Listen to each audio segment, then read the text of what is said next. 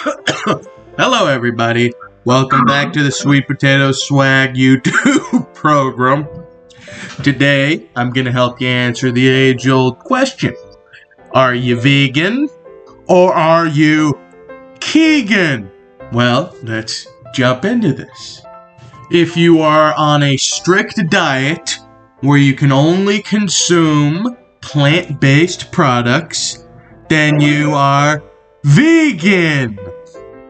If you are an American actor, comedian, producer, and screenwriter that co created and co starred alongside Jordan Peele in Comedy Central's sketch series Key and Peele, then you are Keegan.